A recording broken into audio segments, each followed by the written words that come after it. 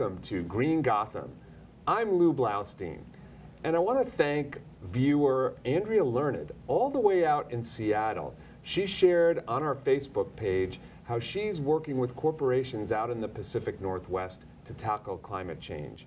Good job, Andrea. Now, joining us, and this is a real treat, we have George Pakenham. George is an anti idling activist. He is also producer, director, and star of Idle Threat Man on a Mission, a documentary film. This is going to be fun. George, thank you for joining us on Green Gotham. Thanks for having me, Lou. So, before we get into our chat, I would love to run a clip from Idle Threat that will give the viewers a flavor of the film. So, roll tape. There's lots of idling going on of internal combustion engines that we are dead set against. Engine idling is is uh, is really like secondhand smoke. The law says you can't idle your engine for more than three minutes, but the law is not being enforced. It has to become unacceptable practice to park your car and leave your engine running. Our children's lungs can no longer afford motor vehicles being used as personal climate control devices. We have to get people to turn their engines off. What do you intend to do? George, how did you get to this point of, ma- of making a film about idling or and the anti-idling laws in New York City? It's a long and deep story, Lou. Um, the, the origin of it uh, goes back to 2005 or thereabouts. Um, at that point in time, I'd lived in New York City for 25 years, love New York, think uh, only the best for it, and um, right about that time began to see, um, in my own neighborhood in particular, that uh, drivers of trucks, buses, and cars were just at curbside letting the engine run. And this is overlaid with um, my feeling at the time um, that the war in Iraq was primarily for oil rather than any other reason. And that really started to gnaw at me.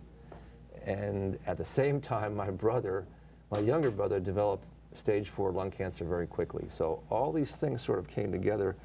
And for the longest time, I just didn't know what to do. I didn't know how to address the feelings that I had. And so maybe stirring this around for six months, it, it, occurred to me that I should do something. And one night coming home from having dinner with some friends of mine, came around the corner from where I live on the Upper West Side, and there was a long stretch limo. The passengers had already exited uh, into the restaurant to eat. The driver was there, the engine was on, and I just, it boiled up inside me, and I walked up and rapped on the window and asked them to roll it down. And we had this 20 minute conversation about his behavior and the ecology in New York City. And he kept the engine on during that kept 20 the minutes? And then ultimately, I asked him to shut it off, and he goes, "Oh, well, sure," and did so. And it was an epiphany for me because I didn't know what to do before, and I, it came to me that that's all I needed to do was ask people to shut their engines off. Well, I'm in sales, and you got to ask for the order. You got to ask for the order. And in this case, asking for the order is turn it off. yeah. And, and so uh, it, I was empowered. And so as I went to work down on Wall Street every day and came back, I'd do that. And then I started doing it at lunch, going out. And it was so, there was so much of it downtown on Wall Street and uptown. So you would go out at lunch and just go like, and then people would roll down their windshield and just. Yeah, and I asked them, but the whole time I was doing this, I, I, I didn't know that there was a law against it until one night I asked someone to roll There ought to be a law. Yeah, no, it was an undercover cop. No. Yes, it was an undercover cop. He says, get away from me. I'm on the job. I'm, I'm an undercover policeman. I went, absolutely. So I walked away, and he said, stop, come back. I went, I'm in trouble. you can't make this up. Uh, I came back, and he goes, you know something? There's a law against what you just said. And I don't know about the law, but I know there's a law against it. So I'd encourage you to check it out. And I went, a law against it? So for six months, Lou, I was doing this without even realizing there was a law against it. Started to look at the, on the web and other sources and found out about the law that had been around since 1971. So who was enforcing this law? So I went to the EPA and chatted with some gents there and got to the base, the, uh, the base of it and actually learned that Elliot Spitzer had started to do, deal with the program to try to enforce it, but Was he the attorney general at the time, or He- the he was or the attorney general Governor. He was governor for like two minutes. Yeah, Uh, he was attorney general, and I got got into that office a little bit. Um, and and then I realized now that I knew about the law, I would want to develop a tool. So I had a business card developed that had the law on one side, and then printed on the back side was the were the penalties that applied to the law. So I began to use that as a tool. I'd rap on the window, ask them to roll the window down. I'd say, "Are you aware in New York City there's a law against idling, and you've been idling more than one, uh, more than three minutes at that point in time, a three-minute max."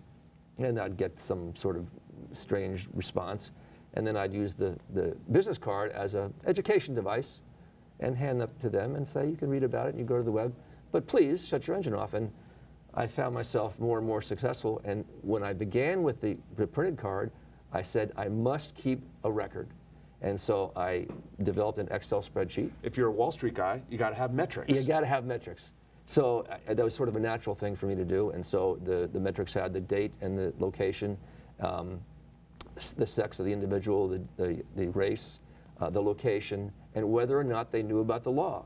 And then I also had a comment section, and Lou, the comments that the people gave me were just off the wall. I mean, I mean, did you get, I, as I'm watching the movie, as, I'm, as I'm hearing you talk, I'm thinking there were some people who might not have really liked it that you were telling them to turn their engine off. Yeah, in the film, there are some right moments Yeah. and some moments of jeopardy, but I always felt like I had the upper hand because they didn't know who I was.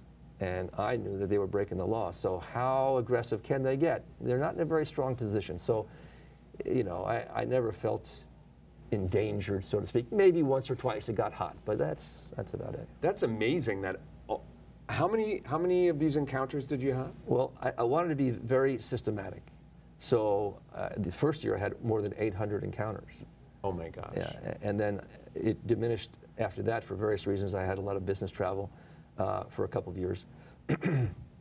um, but over the course of five years, it was a five-year study where I kept records. I did it over 2,900 times. That's amazing. yeah, so I, I wanted to have a you know a, a scientific approach to this.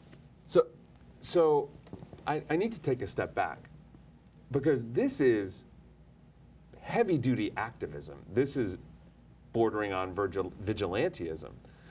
Did, was this in your background? Were you a, a, a wild eyed radical?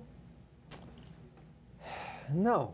Um, You don't seem it. No, no, I wasn't a wild-eyed radical, but I was in college during the Vietnam War, and you know, it, it's an interesting. You're, you're touching on an interesting question because many of my friends were vehemently opposed to the, the war. I was opposed, but I was never in the street, and that always bothered me. I never went out to the street to protest it, and so maybe deep, deep, deep, this was sort of something that I was digging up from that. This is the most delicious irony of all. Not only are you out in the street, you're changing the street. you're changing the way people behave in the street.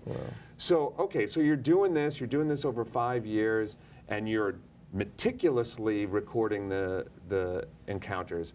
How does this become a movie? Well, in the in the 80s, I shot and directed um, and produced television as a volunteer at Riverside Church, as a matter of fact, at 120th Street.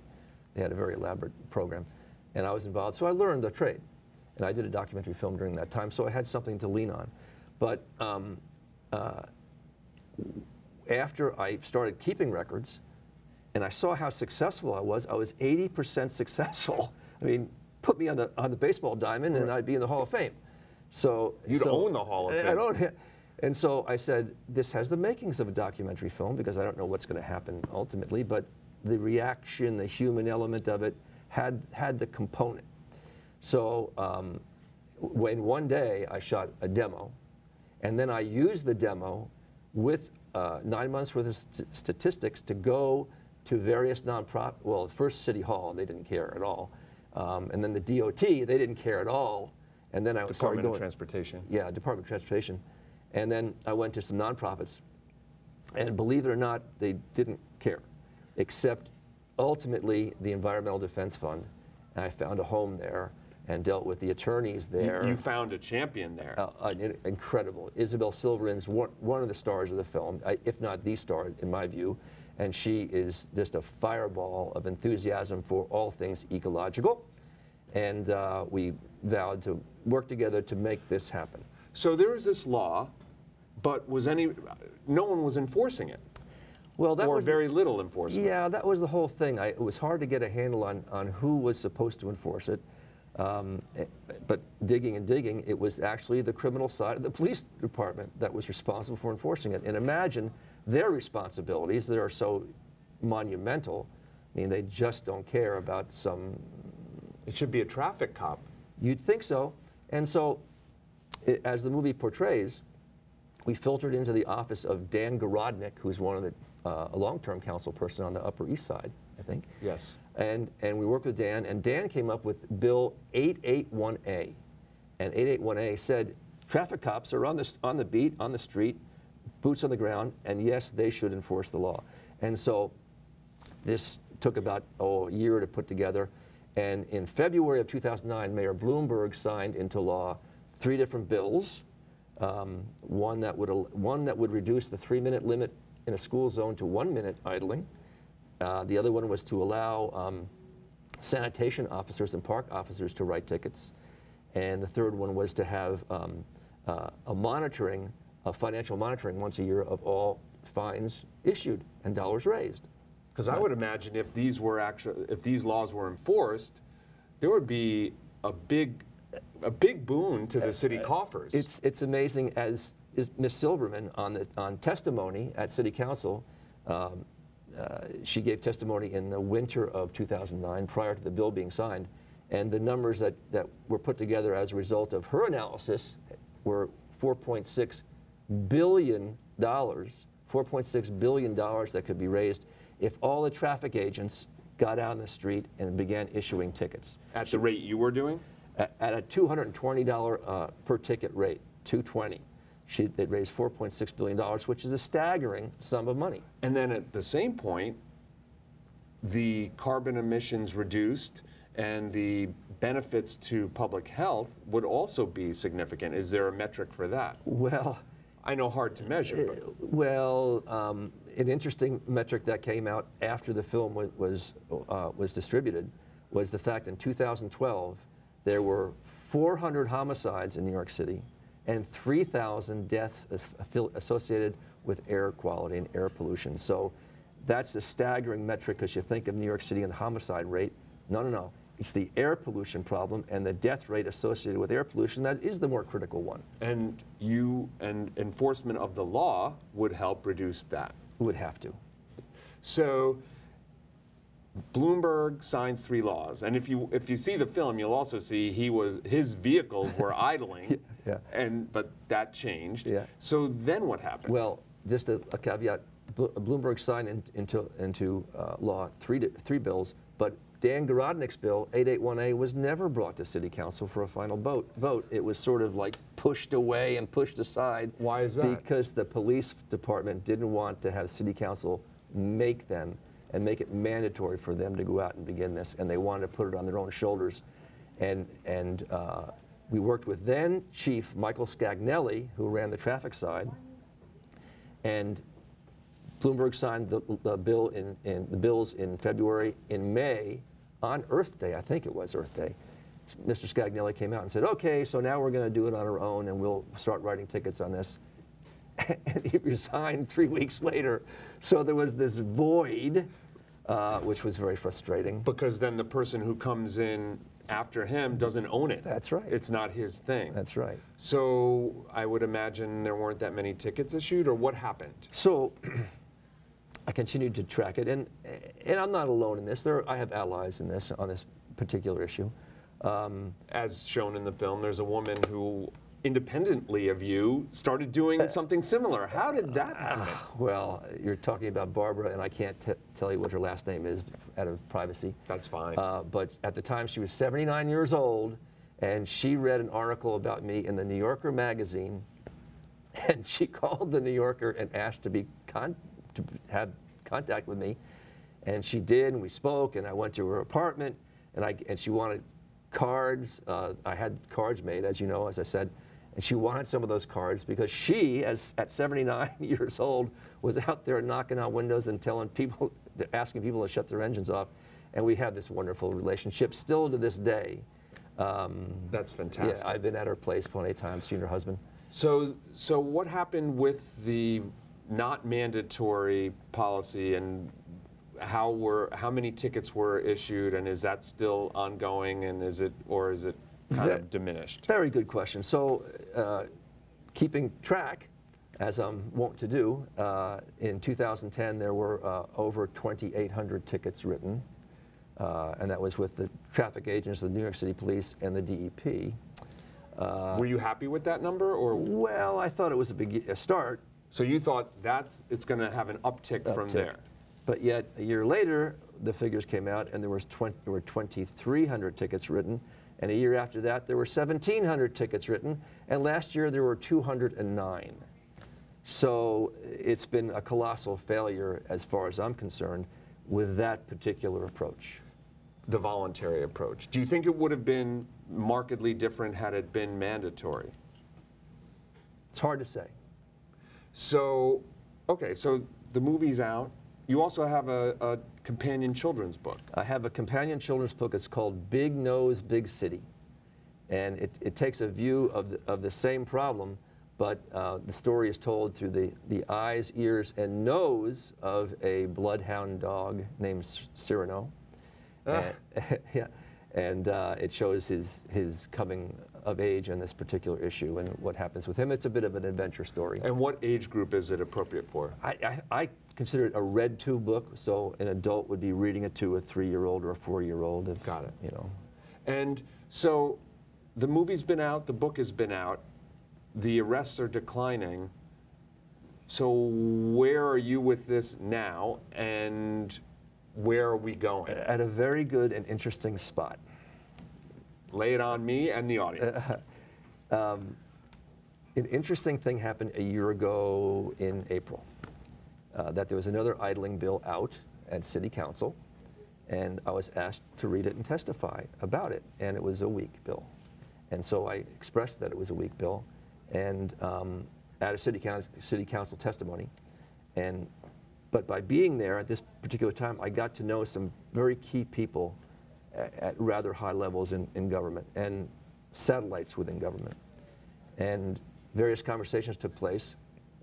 And at that time, the, co- the consensus was perhaps there should be a citizen's arrest component to the bill.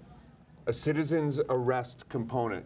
Okay, so when I hear those two words together, citizens and arrest, I, I can't help but think of Gomer Pyle. Citizens arrest. Citizen's arrest. that's, that's exactly correct.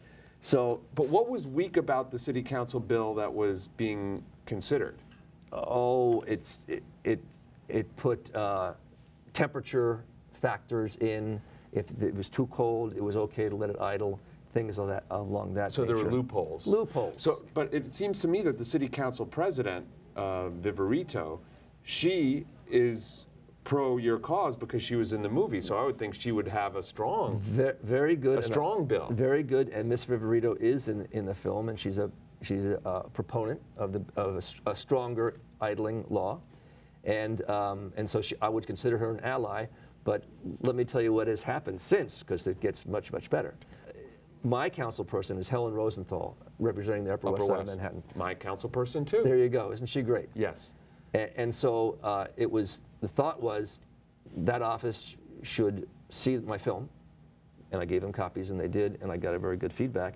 And then I presented a PowerPoint uh, to Helen that, that laid it out as to how this might work. And it was one of the more interesting meetings of my life because by page four, she goes, "Stop me! You had you stop! You had me at page one, and I'll do what I need to do to start moving this forward." And I went, "This is terrific." So Helen became a great ally, and I, do- I think the world of her. And she is a mover and a shaker. She is. She's absolutely fabulous. And so, um, fast forward this to this March of this year, and Helen and Donovan Richards, who is the chairman of the Ecological Committee at City Council, were on the steps of City Hall introducing Bill 717, Intro Bill 717, which allows for citizens um, who are ecologically minded, of course, and want to go through the effort and have an iPhone to submit video evidence of those that are idling, more than three minutes generally speaking, and one minute in a school zone, to submit that evidence to the DEP. And that evidence is a form of, um, of proof that there's been a violation. A ticket is then issued, the ticket's paid. Uh, the fine itself is $350. So it's gone up. It's uh, from 220 to 350. So there's real teeth in it. and the citizen who submits the evidence is paid half. So $175 per citizen's arrest. Per- you know, that, that combination of those two words is probably going to get us in trouble. Right. Per But- citizen action. Citizen- Yeah, action, involvement. Citizen action. Yeah, en- engagement. Yes. But I love how you say sit, citizens arrest. Hey, I've been sitting on that for a long time.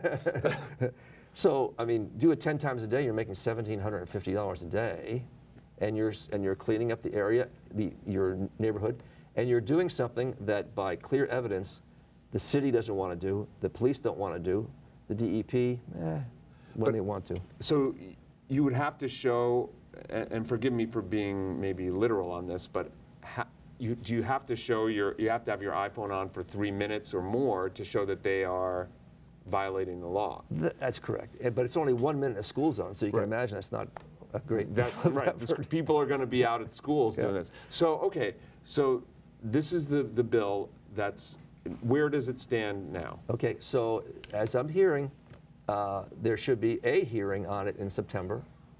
Uh, Hearing leads to a vote. Vote hopefully will be passed, which leads to uh, Mr. de Blasio signing the bill. And where is Mr. de Blasio on this? Well, I, this particular issue, I don't know, but as you may or may not know, last fall, or was it early winter, uh, City Council, up- with Mr. de Blasio's blessing and signature, signed a bill to eliminate uh, emissions in the city of New York by 80% by 2050. Right, that's Eliminate like, 80% by 2050, that's extraordinary. right, that's taking Bloomberg's PlaNYC, which was thought of as extraordinary, and now I believe it's one YC, which is de Blasio, who, when he was running, I wasn't so sold on him on this issue. Yeah. But I gotta say, on this issue, he's been great. Now, it'd be interest, it is gonna be fascinating because this is a really quick way to get towards that 80% reduction I think so. by this law. I think so, for sure. And and the interesting thing is that that there'll be incentive. You know, really, eh, a robust effort will probably take place because people will now they'll have they'll have a vehicle to express themselves and to to bring this evidence to the right people, and tickets are issued. And unfortunately, sometimes a stick is the best way rather than a carrot. So where are you in all of this? Are you helping lead the council, uh, you know, the push in the council because you have a bit of a